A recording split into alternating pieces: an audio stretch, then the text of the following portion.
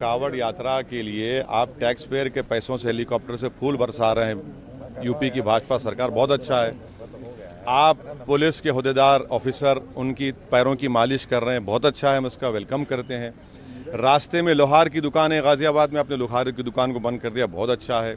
मीरठ में police station में एक मुसलमान ऑफिसर का नाम था। किसी ने ऑब्जेक्शन किया, आपने नाम हटवा दिया, बहुत अच्छा है। भाई, यही तो रहमदिली दिखाई है ना।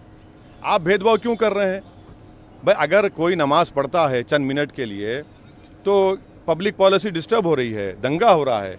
और क्रिमिनल इंटेंट है ही नहीं उसमें, दंगा करने का। Two ninety five one fifty लगाते आप। तो आप हमसे, हम बीजेपी भाजपा की उत्तर सरकार से कह रहे हैं कि आप इक्वली ट्रीट करिए डिस्क्रिमिनेशन मत करिए जो आप कर रहे हैं। वो कह रहे हैं कि वो सबका साथ सबका विकास सब बात भी तो बकवास है। अगर सबका साथ है सबका विकास है तो भैया हमारे भी पैर की मालिश करिए ना आकर। आप हमारे पैर की मालिश करने की जगह हमको ले जाकर पुलिस स्टेशन में लट, लटों से पैर पर मारते हैं। हम पर फूल नहीं बरसाते हमारे घर पर बुलडोजर चढ़ा देते आप। ये ये कौन सा इंसाफ है आपका? पर वो कह रहे हैं कि लॉ लॉ एंड ऑर्डर की बात है वो बुलडोजर की बात है आप नहीं मैं आप मैं आपको एक मिसाल दे रहा हूँ।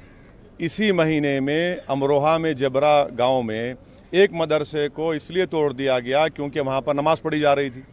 अब बताइए ये क्या है? आप क्यों कर रहे हैं ये? आप आप तो डिस्क्रिमिनेशन कर रहे हैं ना।